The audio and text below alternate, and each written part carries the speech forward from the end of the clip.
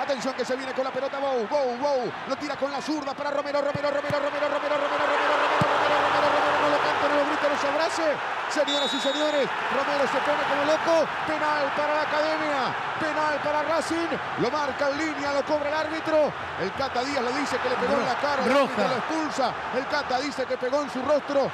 Le van a buscar en línea los hombres de Boca. Señoras y señores, lo marcó en línea, lo cobra el árbitro. Hay penal para la academia. Y expulsado el Cata Díaz. Todo, todo, todo en un segundo en el área de Boca. El árbitro Lustó y el asistente es Cristian Navarro.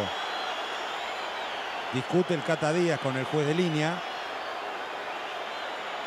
El gesto daba la sensación de que había pegado en el brazo, pero el gesto, vamos a ver si la pelota efectivamente pegó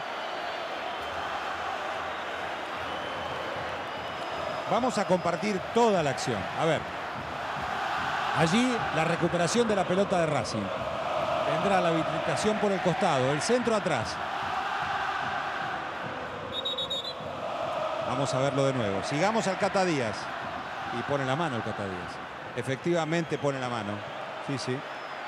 También agacha la cabeza. Quiere darle... Sigamos al Cata Díaz, insisto. A ver. Y pone la mano. ¿eh? No es